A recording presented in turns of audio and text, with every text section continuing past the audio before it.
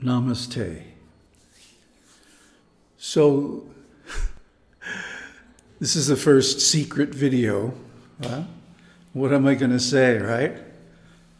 Am I going to give some secret method that I don't talk about in public? Huh? Maybe I'll talk about sex. Look, all the secrets are already out. Okay? The secret that is not out is the one that's hidden within you. In other words, why aren't you making spiritual advancement? Why is your life problematic? Why are you suffering? Because you are not a disciple. There's plenty of gurus around, huh? Aren't there? There's an oversupply of gurus. Everybody wants to be a guru, but nobody wants to be a disciple. That's the problem. A couple of stories to illustrate this. There was a great saint, Milarepa, or was it Tilopa? Yeah, Tilopa, Milarepa's guru, went to a spiritual master who was a phony. Huh? He got his followers to come up with all kinds of fantastic stories about his miracles and this and that and promote him. And then he traveled around everywhere collecting donations and he split them with his guys.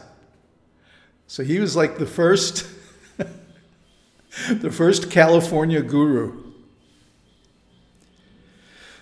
But Tilopa was such a great disciple that he attained anyway.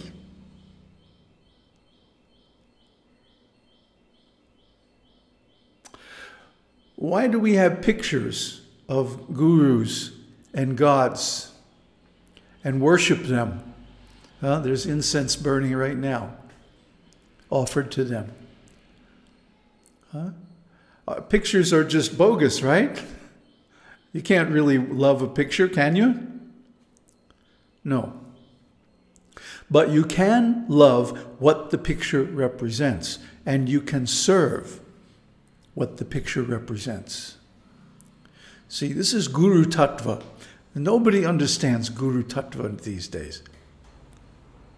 When I was three and a half years old, I was sitting in the church and I saw the stained glass window of Jesus, you know, praying in the garden, and the light is coming down on his face.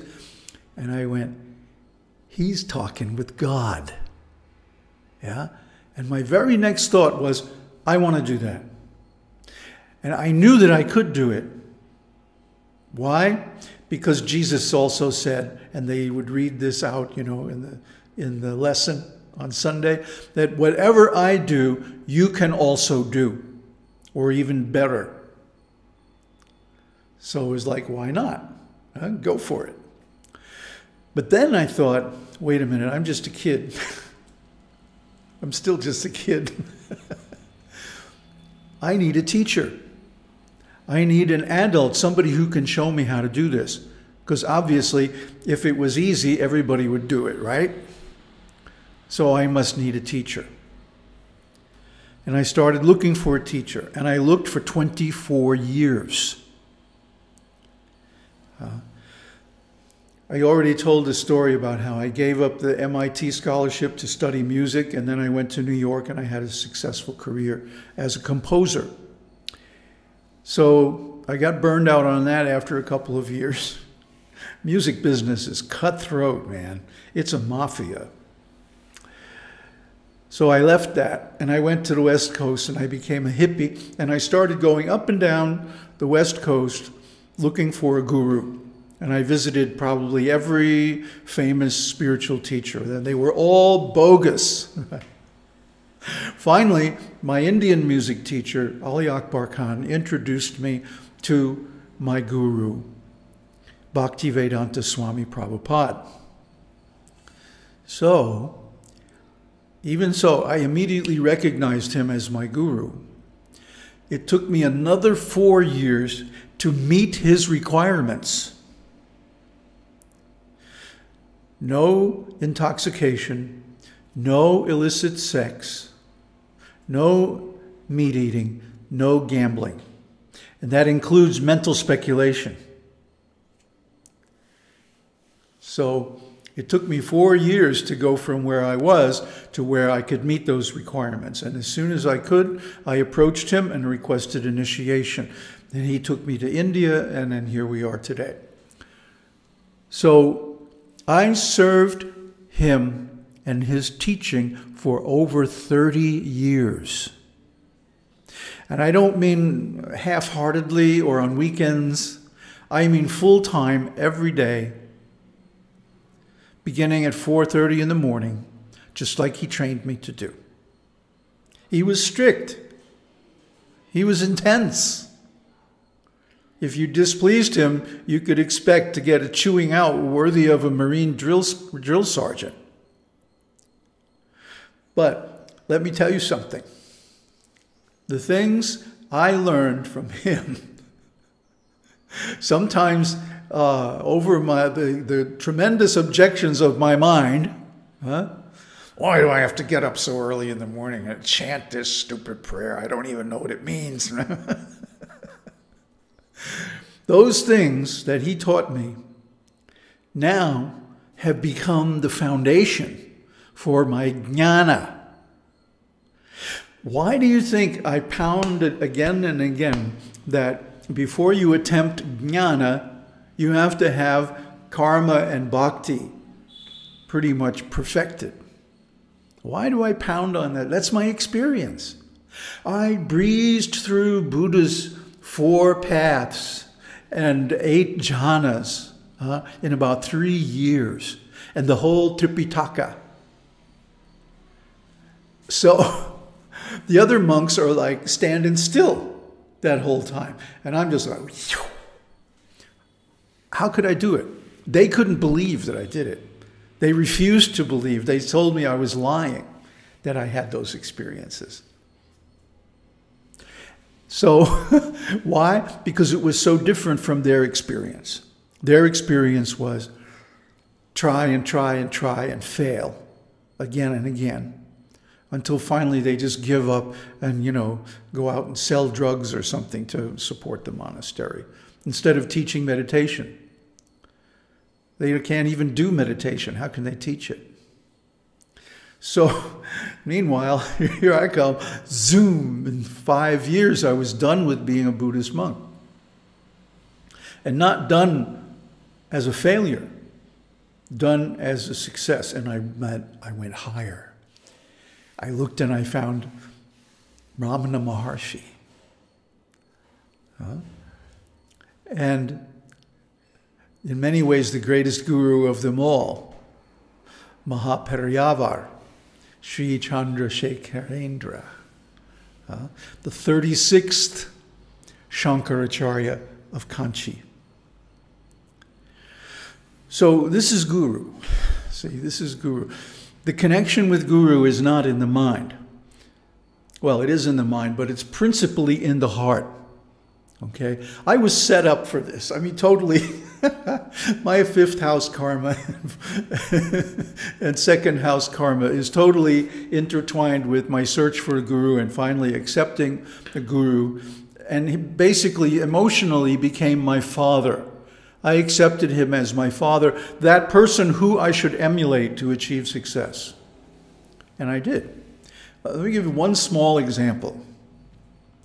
One of the services he had me do in between trips to India was to edit his books, and especially Chaitanya Charitamrita. I was an editor, and I was in the LA office of the Bhaktivedanta Book Trust. You can ask anybody who was there. Uh, and that's where I was. You never saw me anywhere else. I was always, I practically, literally slept in my office because I was so into what I was doing and I learned so much. I read every single word of that book in at least five times. And I mean, it's a whole shelf of books, you know. 24 volumes or something. so, and Sanskrit. I was a Sanskrit editor and a continuity editor. So I had to go through the Sanskrit word by word, make sure everything was correct. And Bengali, Bengali. so, what I learned from that, my God, set me up spiritually to master bhakti. Uh, spontaneous devotional service, spontaneous ecstasy of love of God. Uh, and I did, but it also gave me the skills I needed to start my technical writing career, which is what supported my whole life, you know, two marriages, 10 trips to India, you know, everything, right? For over 25 years until I retired in 2001. So the guru's instructions, if you follow them, will set you up not only for spiritual success, but even for material success. See, this is guru. This is a real guru. Real guru just takes your whole life to a higher level because of his grace. Uh, the trouble that he took to instruct me, I was not an easy, as you can imagine. Uh, set me up for life, basically. Now, I've been teaching on the internet publicly for more than seven years now, and still nobody has approached me as an honest to goodness bona fide disciple. So, what can I do? I can't sell it cheap, huh? There is no discount available. I'm sorry. There's no shortcut either. You have to do the work. I can't do it for you, even though I might want to. It's just not possible. So, that's why I say, accept a guru. Search out a guru. Any guru is better than no guru, as Tilopa illustrates. Even a guru who cheats you uh, is better than no guru. And I know your parents cheated you, your teachers cheated you, the government's cheating you, everybody's cheating you, right? The internet, everything is cheating. That's this world, it's Maya. The world of Maya, the world of false promises, the world of broken dreams. That's why we have to get out. Now, the funny thing about it is, if we approach it in the right way, this world is paradise. but you have to approach it without desires. See, like Shankaracharya said, the uh, qualification, the adhikar for Advaita, for Vedanta, uh, is sannyasa. That's why I took sannyas, not because I needed to take sannyas. No. Because you need somebody who gives a good example, who doesn't cheat, who follows the rules, who does it right, who doesn't take shortcuts. So that's why I took sannyas. And I was instructed to take sannyas. I didn't take it by my own choice, and that's the way it has to be. You have to have a qualification, the adhikar, and you also have to have the permission. Whose permission? The guru. Who is the guru? One you accept in your heart, who speaks the message of Brahman accurately, completely, purely, without a trace of personal desire. See? Uh, the reason this video was delayed a little while was because beginning about six weeks ago, I was having premonitions of death. And, you know, on the spiritual path, this happens from time to time, especially if you're on the right path. You'll feel like you're dying. And usually it's just the ego that's dying, some part of the ego, some part of the false personality. But in this case, it seemed, you know, pretty serious. So I went to my astrologer. I, I consulted with him before I made this video because I didn't want to come on and, and give you any false information. So it looks like you're going to have to put up with me for a while longer. he says, I'm not dying. Maybe some part of me is dying, the part of me that wants to enjoy this world, the part of me that wants to be an individual. That's definitely on its way out, on its last gasp. day before yesterday, I took a nap in the afternoon. And it was a long nap, about three hours. And in the middle of this nap, during deep sleep, shushupta, I woke up. It was the first time this ever happened. And this is one of the big mileposts waking sleep. Not lucid dreaming. Lucid dreaming's easy. But waking sleep, you have to have the grace of Shiva to experience that. So now I know. now the goal is very, very clear. Huh? It was always pretty clear, but now it's like really clear that I have that experience. So this path, you see, it just goes on and on and on. Huh? But there are certain mileposts, and one of the mileposts is initiation by the guru. If you don't have it, you got to get it, man. And there's so little time left. Every day, there's less and less time left. I mean, in one sense, there's life after life, but do you really want to come back to this shit again? I don't. Everybody's cheating. There's only one person who's not, and that's the guru. So you can search for the guru in different ways through books, other media, or whatever. Uh, don't accept a spiritual group because groups, especially in these days, are all full of cheating. But a personal relationship with a qualified teacher is absolutely necessary. And that can't be impersonal. You have to show up. You have to take the seed. What are you going to do, you know? Can't be done on online. Sorry. Can't be automated either. Technology is such bullshit. anyway, so I was having all kinds of thoughts and uh, figurations about how I should present on this channel. And anything that I could think of that was really worthwhile, like Nad Yoga, like really deep bhakti, like, uh, you know, Vedanta, or any, anything that's really, in my mind, a valuable thing to learn. Can't be presented to someone unless they're a disciple. They have to be willing to get up early in the morning and practice. And nobody's doing that. Make, prove me wrong. Huh? I challenge you. Show me a video of you doing these practices, like prayers to the Guru, like Gayatri Mantra, like so many things that we've presented. Huh? And with the clock saying, you know, 4.15 a.m. Huh? I challenge you. Because so far, all the so-called disciples I've had or met or whatever have not been serious.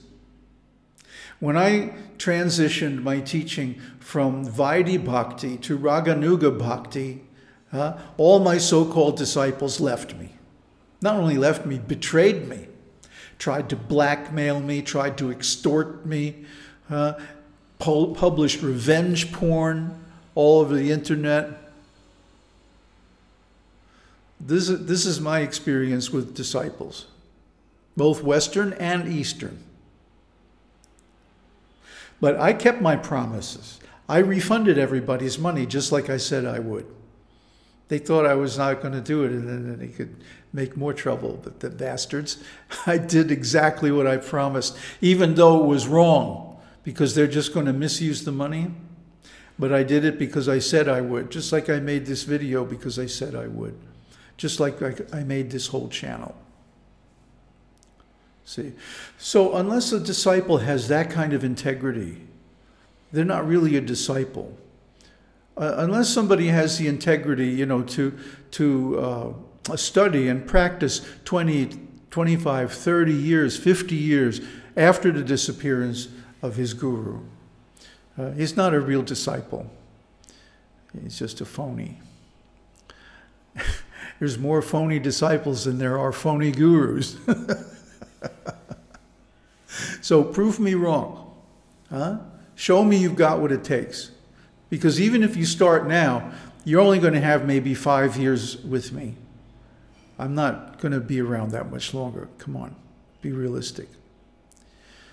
So, especially if nobody interesting shows up, I'm going to be like, I'm out of here. So, I'm already losing interest in everything else. so, uh, you know, that's what this group is. I'm not going to drive this group. You're going to drive this group by your inquiries. See, one should approach a spiritual master why? With hearing, shravanam, with chanting, kirtanam, huh? and with inquiries. Not just superficial inquiries, not just intellectual inquiries, but deep, heartfelt doubts and questions. Guruji, why can't I meditate? Why do I keep falling down into sex life? Why, why, why? Huh? You have to ask, not just theoretical questions out of the books, but the ones that are real in your own life. See, that's disciple. That's what this channel is for. You can approach me, you can ask me questions, and if it's a short answer, I can give it on, uh, you know, by text. And if it requires more in-depth, uh, then I can make videos on it. So that's the deal here. And if you don't participate, I'm going to write you a couple of times and try to try to ask, you know, what's going on. And if you still don't respond, then I'm going to probably just, you know, terminate your account. Because I want people here who are doing it, who are participating, who are serious. That's why I'm doing this. And I'd rather have one actual serious friend, huh? not necessarily student or disciple, but a friend who actually gets it, you know, who actually understands this teaching. Uh, I'd rather have one like that than, you know, a hundred phonies. So, you know, uh, keep me interested in you. I can help you, you know, but you have to be the kind of person who deserves it. I have integrity. So if, if you don't know what I mean by that, watch our series on being integrity. You have not only to have integrity, you have to be integrity. Uh, then you'll be successful at whatever you do. Om Tat Sat. Om Harihi Om.